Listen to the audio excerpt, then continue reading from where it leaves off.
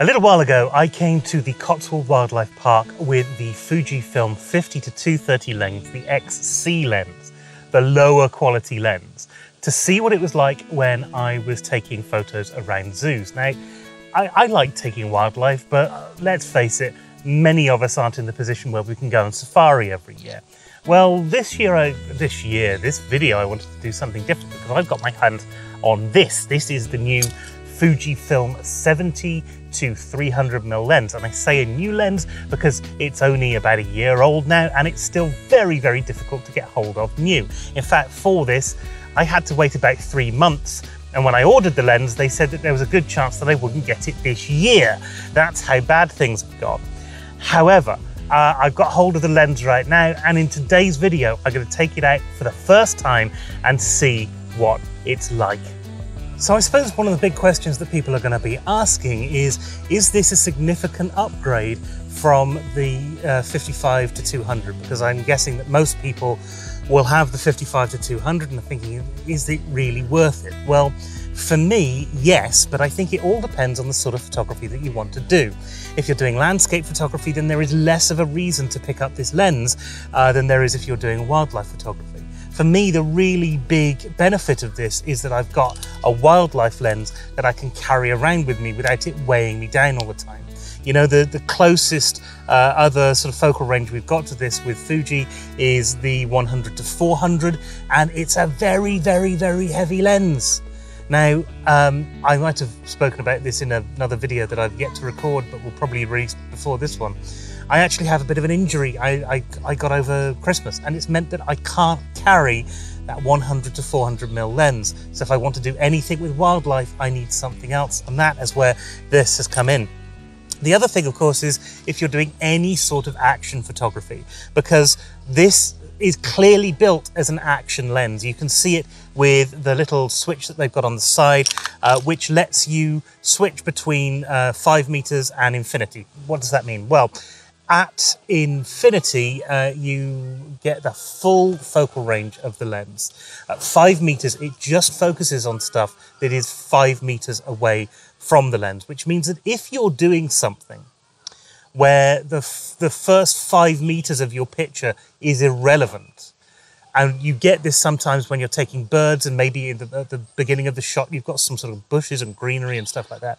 If you're doing something like that, um, then that's a major, major benefit because you are not hunting through uh, that foreground to try and hit your background focus. It means you're going to hit your targets uh, quicker. And when you're doing something like tracking, you're going to hit them more often, which is really, really good. The focusing on this lens is so fast. I would, I wouldn't be surprised if it was faster than the 100 to 400. It certainly seems that way from what I've been experiencing but you then have to uh, also understand that actually it's it's a, a, much more condensed focal range as well. So the, the speed may not actually be any different, but certainly the experience of using the lens is the experience of using this is that it's very very quick to focus. Now, if you're using video, that's a little bit different. Um, the it does focus very quickly, but it doesn't focus in the way that you would want your video to focus. And I think a lot of people using focus, relying on that autofocus, might not choose Fuji in the first place. However, having said that, I'm very, very pleased with some of the pictures that I've got. We've just been to see uh, the penguins being fed. And here I was going to add in some penguin photographs, but I wanted to show you these instead. I was very happy to see the otters out. Now, I've been to lots of different zoos, but I've hardly ever seen otters as active as these. Not only did I get this video footage, but I also got some shots as well. Take a look.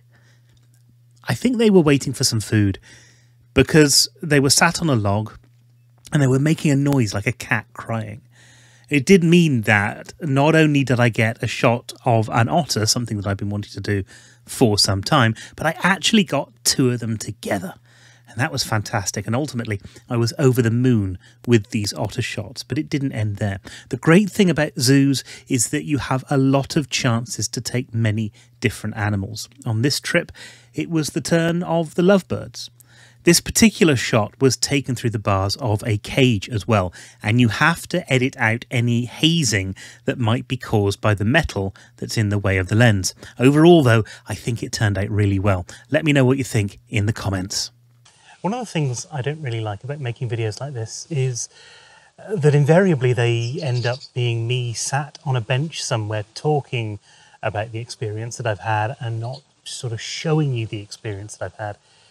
But that's really difficult because, uh, especially when you're someone like this, you know, you would need a, a kind of like a portable tripod. I, I mean, a, a tripod that follows you around. Essentially, what I'm saying is I need a film crew and I can't afford one.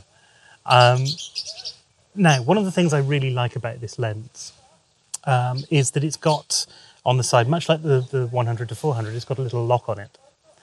And that means that you're never going to worry about lens creep on this lens. Now, I had that with the one, uh, the 18 to 135. As soon as I got the lens, I thought this is brilliant. This is absolutely everything I wanted.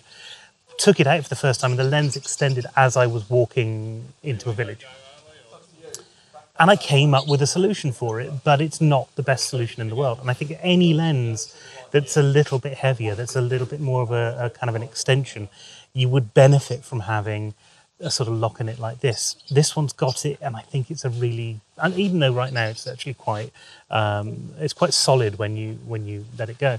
Uh, I think over time that might be something that's actually going to come in very useful. The other thing I like about this lens actually. Um, to do with that lock is that uh, it really does cement the idea that this is an action lens because what they've done is they've created a lock that a little bit of pressure is going to unlock the lens and let you use it.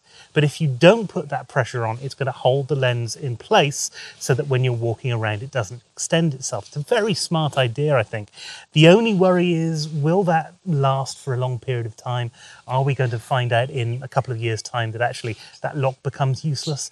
I don't know. We'll have to find out. But for now, I really like that feature because it means you don't have to worry about whether your lens is locked. You pick it up, you focus, you, you create the shot that you want, and then you, you go. Something which is absolutely vital if you are taking those kind of action shots. Now, I've just been in with the lemurs. It's been feeding time with the lemurs. So hopefully right now I will have a couple of uh, photos of lemurs for you. I, I, just have to check that that was right because a couple of times I've tried this and I've said llamas. It's not, they're not llamas. They're definitely lemurs. They're ring-tailed ones. Have a look at these. The best thing about the lemurs was that they had babies. Babies are rather rare in captivity because the zoo has to liaise with other zoos to make sure that they can breed properly and that they're not breeding with their own brothers and sisters.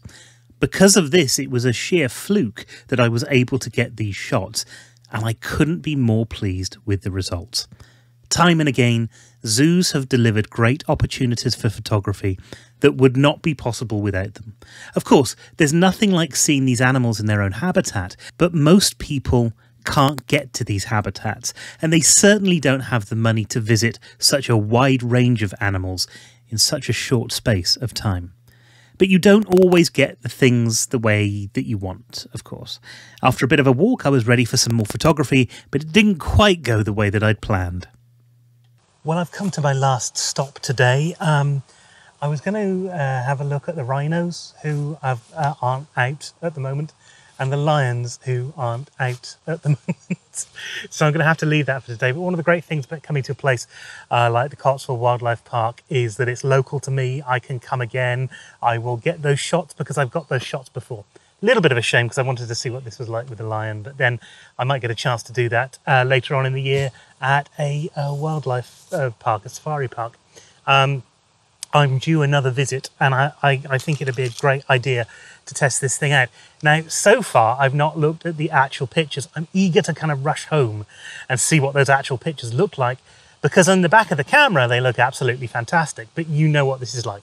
Sometimes you get this thing into Lightroom and it doesn't quite look the way that you think it's going to look in the camera.